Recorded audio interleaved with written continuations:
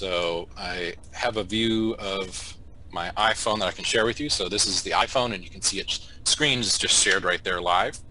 And I have a, a run of data here. We still have that same um, hamburger menu, main menu in the upper left. And if I hit it and choose save, one difference here is that although it's changing on mobile devices, they typically have you save within the app. And that's the example here. So it's still going to be saved as a sparklab.spklab file, but it's going to be saved within the app in a place that it calls saved work. So I could call this uh, my data.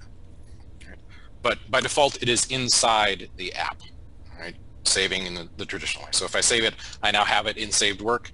If I were to start a new experiment and go to open saved experiment, hey, it points me right to that saved work folder within the app, and I can open up my my data SPARKlab file. So that's saving and opening on traditional platforms versus mobile platforms. If we have this little dilemma here in that SPARKvue on the phone likes to save within the app, uh, what is our solution?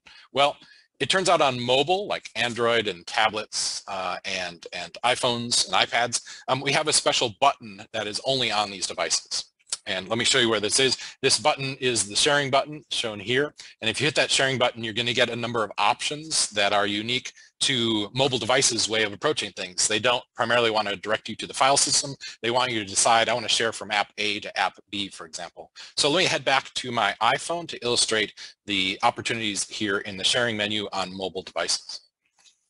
All right, so back in SPARKvue on my iPhone, we see that sharing menu in the upper right, kind of the ball and stick molecular model. And it gives me three options if I have a file with data in it. The first is to share the SPARKlab. So what is this going to share? Well, it is going to, sorry, I hit the wrong one. Share SPARKlab, first option there. If I hit Share SPARKlab, it is going to take that SPK Lab file that I could have saved internally, and it's going to say, okay, I'm going to create that file for you, and I'm going to give you some opportunities to share it. And this is going to be dependent on what apps you have on your phone, but these include sending it by email, sending it via message, uh, sending it to my computer, copying it so I could paste it somewhere else, saving it to the internal files, Dropbox, Google Drive. So a lot of options here depending on what apps you have. So it's likely the case if you have your students using mobile devices um, whether it's iPads, which many of you have, you probably have a workflow already, so it might be Google Drive specific. You could save that SPK Lab to Google Drive, and then you could open it up on the mobile, another mobile device, or most importantly, any device that has SPARKvue on it. All right, so that's the first option in the sharing menu. We are now discovering that mobile has this sharing button. We've looked at sharing the SPARKlab itself.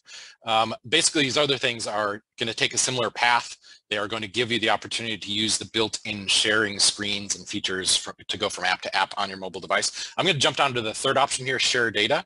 That is going to take the data that's in the file. And just like we saw exporting data uh, to a file system on a desktop computer, we can export the data and then share it via these same tools. So if I mailed it to myself or my lab partners, I'd end up getting something like a CSV file, I believe is the default, which I could then open in Excel on my computer, um, same type of thing. So the only thing we're getting different here from choosing the sharing menu is it's automatically choosing the operating system's sharing options instead of saving it internal to the app.